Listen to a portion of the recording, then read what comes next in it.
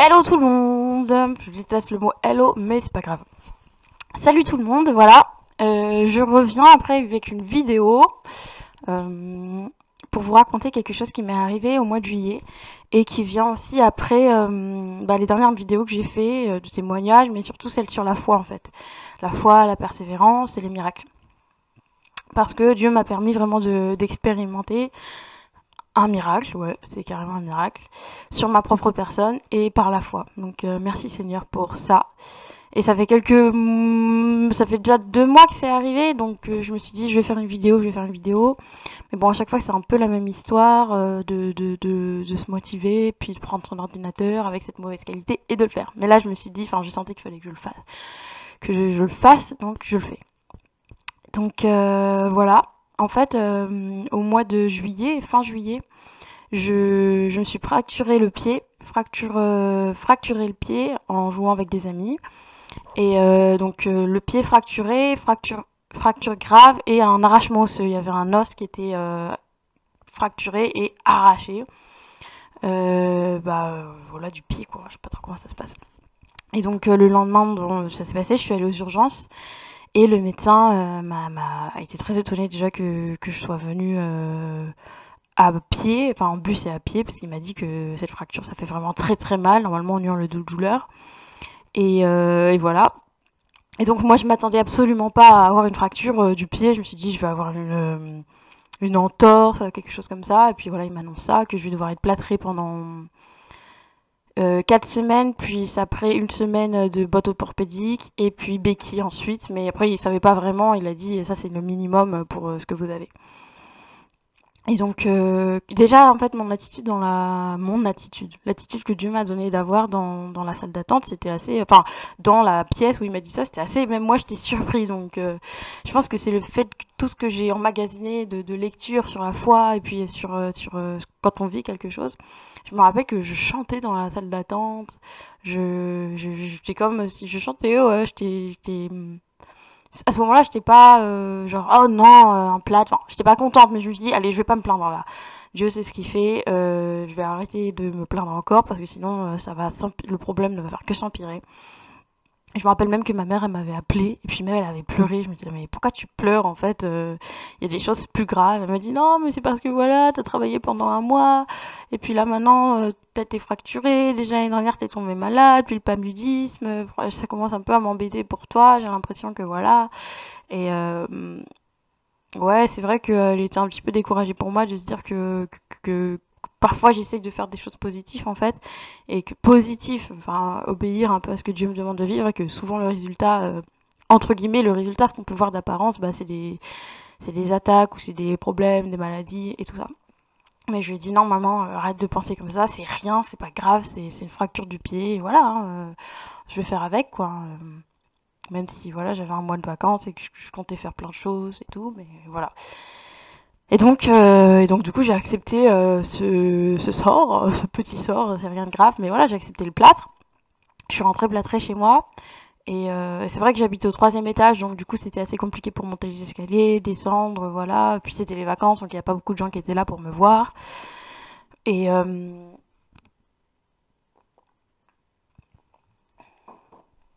Et donc, je cherchais absolument pas la guérison. Et c'est vrai même que j'avais, euh, au niveau de la guérison du corps, de l'âme, je l'ai expérimenté plusieurs fois, donc j'ai une très grande foi pour la guérison de l'âme. C'est pour ça que je prie beaucoup pour euh, les gens qui sont dépressifs, qui sont suicidaires, qui sont même les, les, possessions. Je prie beaucoup pour ça parce que j'ai une grande foi pour ça. Enfin, une grande foi. Dieu m'a donné d'avoir la foi pour ça et l'alcoolisme, les dépendances, j'ai la foi que Dieu euh, fait de grandes choses pour, euh, enfin, est capable d'agir pour ces choses-là, parce que peut-être je l'ai expérimenté dans ma propre vie ou dans la vie des gens qui m'entourent, donc du coup j'ai une foi pour ça. Mais c'est vrai que pour la guérison des maladies, j'ai euh, avant qu'il m'arrive ça, j'ai expérimenté toute une une, remise en question sur ce sujet-là, même sur les miracles en fait, en regardant EMC TV. Je vous encourage vraiment à regarder ça. C'est une chaîne, vous appelez EMCI TV. Et il y a plein de vidéos. Moi, je regarde euh, notamment euh, Prière inspirée. Tous les jours, je regarde ça pour fortifier ma foi. Et donc, un jour, il y avait quelque chose sur la guérison. Et ça disait que, euh, souvent, on avait des mensonges, en fait, dans notre tête qui nous disaient que des mensonges au niveau de la guérison, de l'incrédulité, des, des choses voilà, je pense, pense, que le fait que ça soit très terre, c'est le corps en fait. Il y a quelque chose qui est cassé dans le corps. Peut-être qu'on a mal à y croire. En tout cas, moi personnellement, j'avais souvent du mal à y croire. Et même j'avais des pensées qui étaient vraiment pas justes. Par exemple, dans l'église, quand il y avait des gens qui priaient pour la guérison, euh, souvent je, me disais c'est des charlatans ou c'est des gens ils font style mais il se passe jamais rien. J'avais des pensées très incrédules et que Dieu n'aime vraiment pas en fait ce genre de pensée là parce que Dieu agit encore aujourd'hui. Dieu fait encore des miracles aujourd'hui. Et c'est souvent, il fait souvent pas de miracle dans un, dans, dans un endroit parce que les gens sont incrédules. Et moi, je faisais vraiment partie de, de, ces gens incrédules. Et même parfois, il y avait des gens qui étaient guéris, ils le témoignaient. Et moi, j'étais là, ouais, moi, je pense qu'il fait un peu la comédie, demain, ça ira mal et tout. Vraiment des choses qui, sont incrédules et qui, qui, qui déshonorent vraiment Dieu et qui attristent le Saint-Esprit. Et c'est ce que vraiment je faisais. Alors que, que, que voilà, j'ai déjà regardé des vidéos de personnes qui, qui témoignent d'être guéries d'un cancer, d'être guéries de, de, de de, de, de, de cancer, maladie, euh, même des problèmes de peau, euh, des, de la vue. J'ai une amie qui a été guérie littéralement de son œil en fait. Il était presque aveugle et Dieu l'a guéri du jour au lendemain. Ma mère aussi a vécu ça. Et, et j'avais du mal. Donc en regardant ces vidéos de MCI TV, à un moment, il nous appelait dans un, dans un moment de repentance. Il nous disait, bah, si vous voulez vraiment eh, honorer Dieu, eh bah, commencer vraiment à, dire à Dieu que pardon en fait d'avoir été incrédule et aussi prier pour que Dieu enlève les mensonges sur la guérison, qu'il enlève les mensonges sur les miracles aussi. Et c'est vraiment par quoi je suis passée. J'ai dit Seigneur, je te demande pardon. Moi, je veux vraiment euh, vivre ce que toi tu vis. Je veux euh, partager euh, ce que toi tu partages. Si un jour tu m'appelles à prier pour les malades, eh ben je, veux le faire. Je veux le faire parce que ça t'honore aussi. Et c'est vrai que, le sujet de la guérison, c'est quelque chose qui est très compliqué, qui est très vaste et, euh, et, qui est très, euh, qui est très qui est très difficile à aborder parce que ça apporte à la mort, à la vie, au corps, et voilà. Mais en tout cas, il en est que Dieu continue à guérir les gens. Même si parfois il y a des gens qui ne sont pas guéris, Dieu continue à guérir les gens. Et, je pense que ça serait vraiment une très grosse erreur de notre part d'arrêter de prier pour la guérison, de croire en la guérison, parce que des gens n'ont pas été guéris. Et aussi, je, veux dire aussi dans, ce témoignage-là que je crois avant toute chose, avant même de parler de la guérison, je crois avant toute chose que la plus belle guérison, le plus beau, le plus grand miracle, c'est de, de, se reconnecter avec Dieu. C'est quand Dieu vient toucher notre cœur et il vient changer littéralement notre vie, qui fait qu'on le fait qu'on commence à s'intéresser à lui, ça c'est le plus gros miracle. Ça s'appelle la nouvelle naissance. En fait, quand, quand Dieu change notre cœur, c'est le plus gros miracle. C'est la plus grosse des grâces. Et, et, et je veux aussi vous encourager que si par exemple vous priez là aujourd'hui, vous écoutez ce témoignage et que vous n'avez pas donné votre cœur à Jésus, bah vraiment déjà donnez votre cœur à Jésus parce que Jésus il pourra vraiment encore plus agir en vous, même s'il le fera probablement même si vous agirez pas en vous, peut-être, si Dieu vous l'inspire, mais en tout cas qu'une guérison corporelle, ça ne vous donnera jamais la place au ciel, alors que la guérison du cœur, le fait de se reconnecter avec Dieu, c'est la plus grande des grâces, c'est vraiment pouvoir vivre la paix dans son âme, en dehors de vivre la paix dans son cœur. Voilà. Et donc, euh, voilà, pour revenir à, ce, que je, disais, et... Euh, donc en fait, je suis revenue chez moi et euh, j'ai commencé un petit peu bah, ma première semaine avec mon plâtre. Je galérais à marcher, dans mon, lever pour aller dans mon lit et tout, vraiment galère quoi. Genre, euh. Et en même temps, je dis Seigneur, je vais pas me plaindre, je veux vraiment, euh, euh, me dire que si tu me fais vivre ça, c'est probablement tu, veux me parler pendant ce moment, pendant un mois, tu veux me parler, je vais rester chez moi, donc je vais t'écouter, je vais passer du temps avec toi, et je dois le vivre comme ça, parce que sinon je vais mal le vivre. Et il y a deux ans d'ailleurs, je m'étais fracturé aussi le coude en skate, en skateboard, et du coup j'avais vécu la même chose, en plein mois d'été, j'étais euh, j'étais à la maison. Et ça a été un mois qui était hyper fort, parce que j'avais vraiment euh, vécu Dieu m'avait beaucoup parlé sur plein de choses dans ma vie. Je m'étais beaucoup rapprochée de lui. Je me suis dit, bah, allez, je vais essayer de faire ça. Il y a une semaine qui est passée et un jour, j'étais avec une amie et euh, et cette amie, on va en ville, elle est venue me chercher chez moi, elle m'a aidé à descendre les escaliers, puis avec sa voiture, on allé en ville, on allait boire un café, il me semble. Et euh, puis après, euh, ma mère devait venir chez moi, je me suis dit, ah bah si t'es en ville, bah pose-moi chez elle, comme ça elle a pas besoin de se déplacer. Et euh, et en fait, j'arrive chez ma mère. Et ma mère était pas très bien, elle était un petit peu, un petit peu malade, un petit peu fatiguée. Et du coup, on s'est même un petit peu disputé, parce que, en fait, je voyais qu'elle était super pas qu'elle était pas bien en forme, et en fait, elle voulait prendre soin de moi, et moi, ça me saoulait. Je voulais me dire, mais prends déjà soin de toi, ça sert à rien que tu t'occupes de moi, que tu me raccompagnes chez moi, alors que tu tiens même pas debout. Je dis, t'inquiète pas, je vais rentrer à la maison tout seul. Et donc euh, voilà, du coup je suis partie, je suis rentrée parce que moi je voulais qu'elle se repose et moi je voilà, même si j'ai les béquilles, je peux prendre le bus, je peux me débrouiller quoi. Il y a des gens qui vivent avec des béquilles. Et donc du coup je commence à sortir dehors. Et là je sors à peine, euh, je sors à peine de, chez moi, de, chez ma mère, que, que, je vois un gars en voiture qui s'arrête et il me dit un monsieur, on va dire, qui me dit euh, Est-ce que vous voulez que je vous amène chez vous? Moi je le regarde, je suis comme ça, genre est-ce que je peux lui faire confiance et tout Puis je prie deux secondes dans ma tête et puis il lève sa béquille comme ça, il avait une béquille, il dit Moi je connais ça, je vois depuis tout à l'heure que tu galères et tout, euh, si tu veux, je te dépose chez moi. Il avait une toute petite voiture électrique. Et alors je me suis dit Allez, c'est bon, je fais confiance.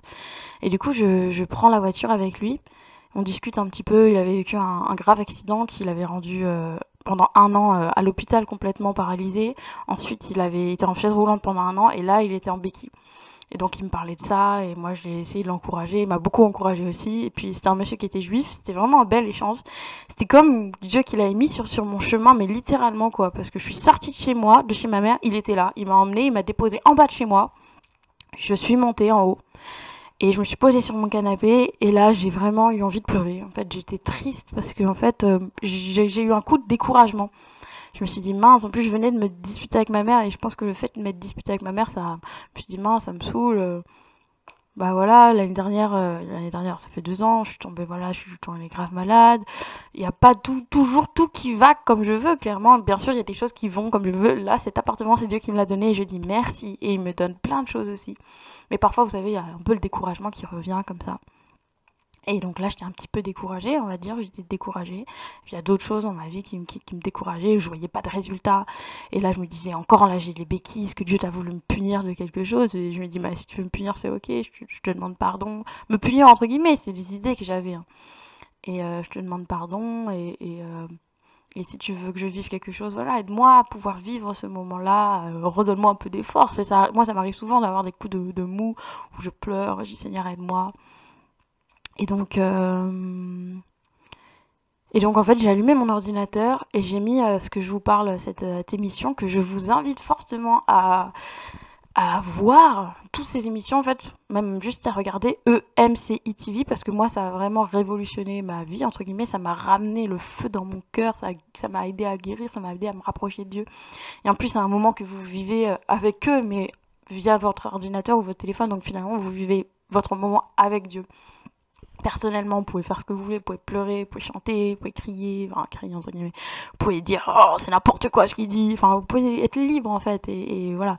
Et donc j'ai posé, j'ai pris mon ordinateur, je me suis allongée avec mon plâtre et j'ai mis l'émission du jour MCI TV et ça parlait de la guérison divine par la foi. Et en fait, je vais vous dire que moi je cherchais absolument pas la guérison. Pour moi, euh, c'était il y avait des choses plus graves dans la vie et euh, dans ma vie même et je ne cherchais pas la guérison. Je ne cherchais pas la guérison. Et j'ai commencé à écouter cette vidéo. Et c'est vrai qu'en fait, il y avait quelques jours avant, il y avait des gens qui m'ont dit si tu veux, je prie pour toi et tout, pour, euh, pour ton plat. J'ai dit ok, vas-y, plie. Et je crois, je me suis dit ok, Dieu peut me guérir, mais on va voir le résultat dans 5 semaines, 6 semaines, parce que de toute façon, j'ai mon plat. Donc même si je suis guérie, je ne saurais pas. Et donc du coup, il y avait des gens qui avaient prié pour moi, même moi-même j'avais prié. Et j'avais toujours cette... une question que je vous dirai après. J'ai j'ai mis la vidéo et, euh, et, en fait, il commençait à, dire plein de paroles de foi il disait, voilà, dans, la Bible, les gens, ils disent, ta foi t'a sauvé. Euh, euh, il te sera fait selon ta foi. Va, ta foi t'a guéri. Et puis il disait des choses comme ça. Et tout d'un coup, il a dit, il a dit quelque chose et la parole, elle est vraiment venue prendre vie dans mon cœur. Je peux pas vous expliquer ce qui s'est passé, mais tout d'un coup, je dis, mais oui, je crois, je crois que Dieu peut me guérir aujourd'hui, mon pied est cassé. Et c'est comme ça, mais oui, je crois, mais Dieu, bien sûr, il peut faire ça, il peut me guérir, il peut tout faire, il peut me guérir. Et la parole est tombée sur moi. Et vraiment, genre, euh, elle, est, en fait, elle est devenue vivante. La parole est devenue vivante. Cette parole de euh, va, ta foi t'a guéri, ou il te sera fait selon ta foi. Et donc, j'étais comme ça, j'étais tourmentée, j'étais là, et puis il disait faites quelque chose. Et en fait, moi, j'ai. Euh, euh, faites quelque chose que vous pouvez pas faire. À ce moment-là, moi, j'avais reçu ma guérison. J'avais pris une parole de foi et quand j'ai dit ça, mais oui, Dieu m'a guéri dans le nom de Jésus. Il a, il a, son sang a coulé pour moi en fait. Son sang a coulé et Dieu est tout puissant. C'est lui qui a créé la terre, c'est lui qui m'a créé, c'est lui qui a tout créé. C'est lui en un mot, il est capable de changer les choses. Et là, j'ai eu un éclair de conscience. Et Dieu, en fait, par le Saint-Esprit, à ce moment-là, il voulait me guérir particulièrement. Et il m'a dit, je t'ai guéri. Et donc le monsieur dans la vidéo, il a dit faites quelque chose que vous ne pouvez pas faire. Et donc j'ai pris mon pied qui était fracturé dans un plâtre, l'os arraché, que si j'avais fait ça avant, j'aurais hurlé euh, littéralement parce que j'arrivais pas à poser mon pied, même si voilà, je supportais la douleur, je posais pas trop mon pied je faisais pas. Là, j'ai pris mon pied avec mon plâtre et j'ai écrasé fort par terre et j'ai commencé à marcher avec mon plâtre. Et au moment où j'ai fait ça, j'ai senti une puissance qui est rentrée de, de mon pied jusqu'en haut. J'ai senti vraiment euh, une puissance, c'était comme si c'était frais en fait, c'était vraiment même frais, je disais souvent ça. J'ai senti cette puissance-là. Et j'ai dit, oh là là là, il s'est passé quelque chose. Et en même temps, j'étais, j'étais perplexe dans ma tête parce que je me dis, mais oh là là, moi si je suis guérie là, j'ai mon plâtre.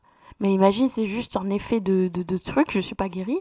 Et euh, comment je sais en fait si je suis vraiment guérie vu que j'ai mon plâtre Même, ok, j'ai posé mon pied par terre, j'ai appuyé, j'ai pas mal du tout, carrément pas.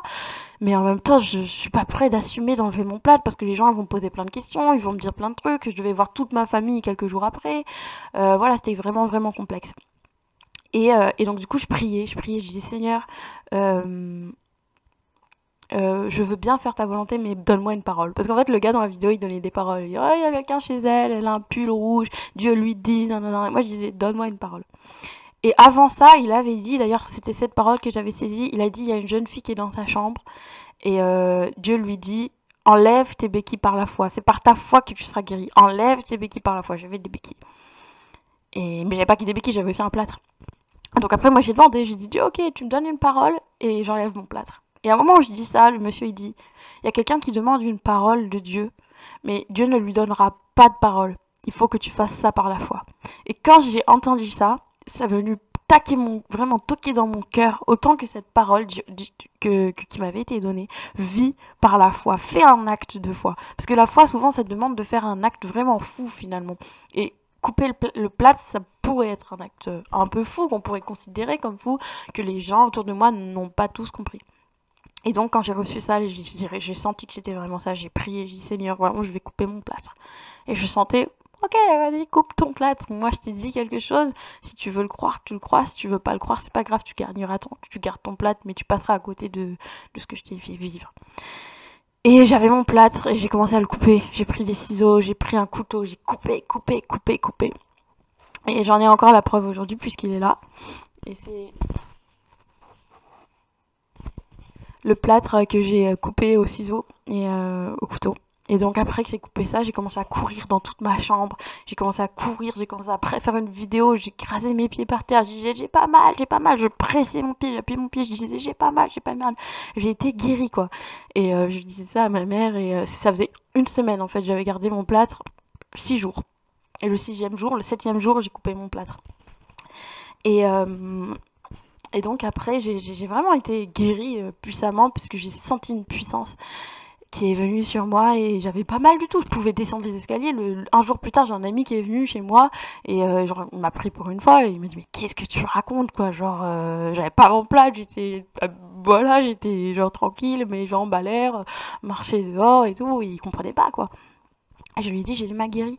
Et c'est là que je suis rentrée dans un combat pour garder ma guérison parce que l'incrédulité des autres, ça a créé des racines en moi et j'ai commencé à me dire ah mais ça se trouve je suis pas vraiment guérie et tout Et en fait tous les jours je me disais pendant pendant que je dormais, je tournais mon pied dans tous les sens pour voir si j'avais plus mal. Et à un moment en fait, c'est vrai que j'avais un tout petit peu mais un tout petit peu une enflure comme ça. Et puis Dieu me disait je sentais dans mon cœur Garde ta guérison. Garde la foi que tu as eue devant Dieu. Déclare ce que, tu as vécu tous les jours. Et tous les jours, j'ai déclaré, j'ai déclaré, j'ai déclaré. Je disais le sang de Jésus sur mes pieds. Le sang m'a guéri. Jésus m'a guéri. Jésus m'a guéri. Je disais ça. Jésus m'a guéri. Et donc je continue à marcher, je marchais dehors. Même un jour j'ai fait une randonnée euh, en Ardèche. Je suis allée avec une amie, on est monté en haut, on a monté en haut d'une montagne, on a fait du camping, on a dormi et j'ai marché en fait. J'ai marché en sandales, j'étais en sandales. J'étais en sandales, en claquettes et j'ai fait cette randonnée. Euh, une semaine après ma guérison. J'ai marché, j'ai... Euh, voilà, et en fait, je déclarais ça, je déclarais ça. Et je savais aussi que c'était quelque chose que Dieu voulait m'apprendre aussi dans ce processus-là, de me positionner. Même si parfois, il a écrit aussi dans la Bible que, les lépreux, ils ont eu leur guérison en chemin. Euh, Jésus leur a dit, allez voir le prêtre sacrificateur. Et en chemin, ils furent guéris. Déjà, ils, furent, ils ont fait un acte d'obéissance. Ils sont allés voir euh, le, sacrificateur, il me semble, bah, comme le prêtre, en fait. Alors que Jésus aurait pu leur le guérir comme ça, mais ils sont allés, ils ont obéi à cet acte fou, alors qu'ils auraient pu dire non, mais tu aurais pu me guérir maintenant, moi je vais aller faire quoi là-bas, pourquoi tu m'as pas guéri et tout. Mais ils ont fait, ils y sont allés. Et le fait d'y aller, en chemin, Dieu les a guéris, parce que c'était un acte d'obéissance. Et moi, Dieu m'a demandé de couper mon plâtre. Et j'ai coupé mon plâtre et j'ai été guéri. Et donc tous les jours, je déclarais, je déclarais la parole. Je dis, ok, je peux être guéri en chemin, je suis encore en chemin. J'ai été guéri, j'ai plus mal. Mais dans ma tête, ça bouillonnait, voilà, c'était, euh, j'avais des, questions et tout. Et puis euh, voilà, bref, et après ça s'est passé, je suis allée faire la radio, et euh, je suis allée faire une radio, parce que je pensais que c'était très important de faire une radio, parce que Dieu confirme toujours sa parole. Et, quand j'ai fait la radio, le, gars déjà il me dit, vous, venez pourquoi? Je dis, bah j'ai le pied fracturé, j'avais le pied fracturé, et un arrachement. Il me regarde comme ça, il dit, vous êtes sûr? Je lui dis oui, oui, je suis sûre. Et il me dit bah moi ça me paraît un peu improbable. Vous êtes sûr que vous n'avez pas plutôt eu une entorse? Je lui dis non, non. Je lui montre les radios. Il y avait écrit euh, fracture. D'ailleurs, la radio, euh, l'ordonnance, il avait écrit réévaluation d'une fracture et d'un arrachement osseux. Et il me dit bah c'est hyper étonnant parce que je ne vois même pas de fissure. Je ne vois plus, il n'y a rien du tout. Et même quand il me l'a dit, quand, j'ai fait la radio, moi-même, j'étais encore dans, une sorte d'incrédulité parce que je déclarais, je disais, Seigneur, Jésus m'a guéri. Jésus m'avait guéri. Il fallait juste que je dise, voilà, je te fais confiance, on va avoir les papiers, et sur le papier, il n'y aura rien. Mais j'avais du mal à y croire. Je me disais, peut-être, il y aura encore quelque chose. Et en fait, il n'y avait plus rien. Il n'y avait plus rien. Et même le gars en face de moi, il ne me croyait pas. Et donc, euh, le gars qui, faisait les radios, il, m'emmène chez le médecin. Et le médecin me dit euh, pourquoi vous êtes ici et tout? Et je lui dis bah voilà, il y a quelques, il y a deux semaines, euh, deux semaines ouais, j'ai fait une, euh, une, fracture et du coup je vais, je voulais réévaluer parce que voilà. Et déjà il me dit mais qui vous a permis d'enlever votre plâtre? Et je lui ai dit bah écoutez moi je suis chrétienne, j'ai prié et j'ai j'étais convaincue que Jésus m'a guéri. Et il m'a dit ah d'accord. Et c'est pas le médecin. Je lui ai non, et il m'a dit, bah, dans ce cas-là, si vous êtes guéri, pourquoi vous voulez avoir les radios? Je lui ai dit, parce que pour moi, Dieu va se confirmer par la science. Et il a dit, bah écoutez, j'ai rien à dire, voici vos radios, vous êtes guéri. Il n'y a rien, il n'y a rien, il n'y avait aucune, avait aucune trace même de, de, de fracture ou, ou de fissures ou d'entorses. En fait, c'était guéri nickel. Et même quand je suis allée quelques jours euh, chez, chez un, médecin pour demander des séances de rééducation, parce que j'ai marché très vite, je suis pas passée par le stade à tel, euh, j'ai pas marché avec les béquilles, euh, j'ai tout de suite marché. Et après, j'ai déclaré, parce que c'est vrai que j'avais des problèmes pour marcher tout droit, parce que c'était psychologique. C'est venu hyper vite, en fait. Et, voilà, Dieu m'avait guéri parce que.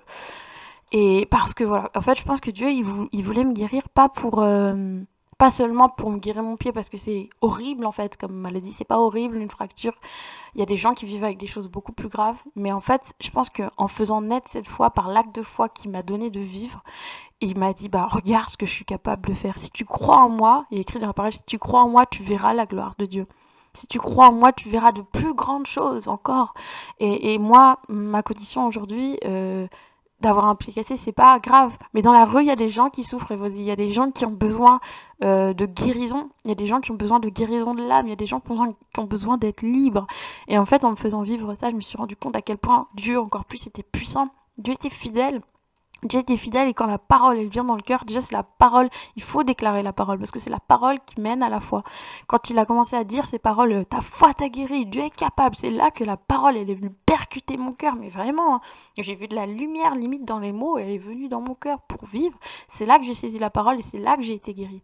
Alors voilà, pour vous, j'ai vraiment envie de qu'importe ce que vous avez ou ce que les gens vivent autour de vous, peut-être vous avez des mensonges encore sur la guérison, sur les miracles, tels qu'elles soient en fait. Que ça soit prier pour quelqu'un dans la rue, Priez pour votre famille, priez pour vos amis, priez pour des petits problèmes que vous avez, que vous dites c'est trop grand pour moi, des, des choses que vous faites qui vous déplaisent, qui vous déplaisent. Euh, euh, croire en Dieu en fait et toutes ces promesses. Bah, vraiment, euh, demander pardon à Dieu. Commencez juste à faire comme moi j'ai fait, Seigneur, je te demande pardon.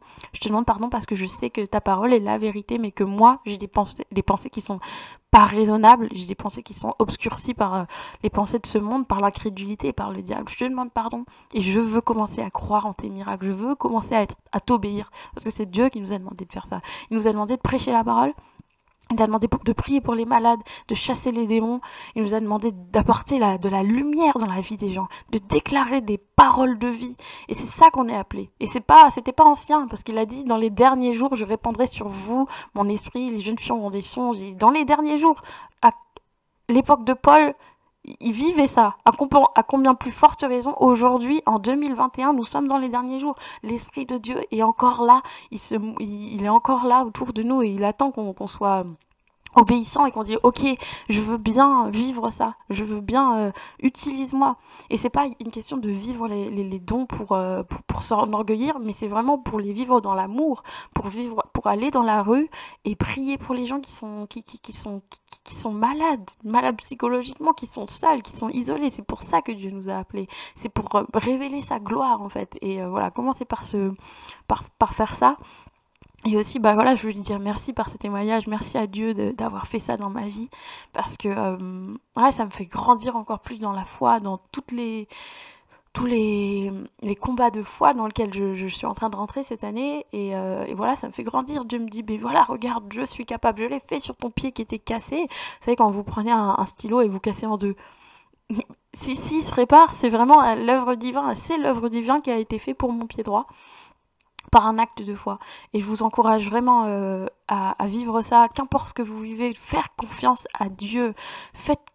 Commencez à prendre la crainte de l'éternel, que ce que Dieu dit, c'est vrai, c'est réel. Commencez à croire que ce que la parole dit est réel. Demandez de lui de se révéler à vous. Demandez à lui de, chasser les mensonges dans votre cœur par euh, tout ce qui est incrédule en fait. L'incrédulité, l'Esprit de Dieu est une personne.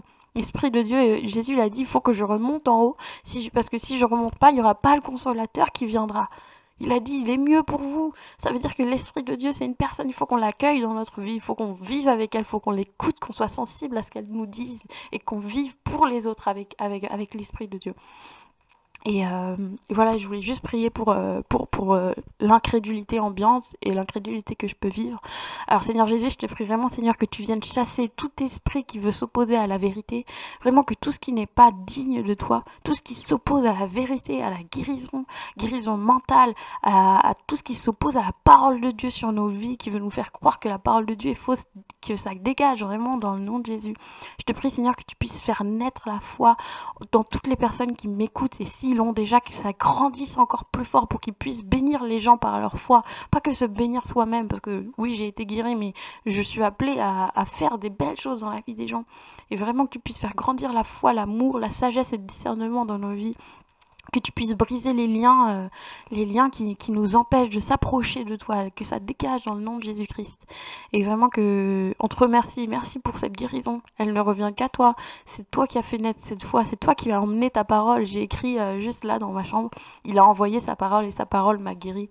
Parce que c'est exactement ce que j'ai vécu. Il a envoyé sa parole par ce mot-là, par cette phrase, par euh, cette personne qui la disait. Et quand j'ai saisi la parole, la parole m'a guéri. Et oui, c'est fou pour le monde. Oui, c'est fou pour le monde, mais ce qui parce que ce qu'il a dit qui était fou pour le monde, c'est la sagesse de Dieu. C'est ce qu'il nous a demandé de vivre. Si vous avez besoin, si vous êtes dans des situations en fait qui sont fermées, impossibles pour les hommes, bloquées, ouvrez la parole de Dieu et commencez à croire à ce que dit la parole de Dieu. Parce que même si c'est fou, c'est ce que Dieu nous appelle à vivre. C'est comme ça qu'il se manifeste. C'est comme ça qu'il se manifeste.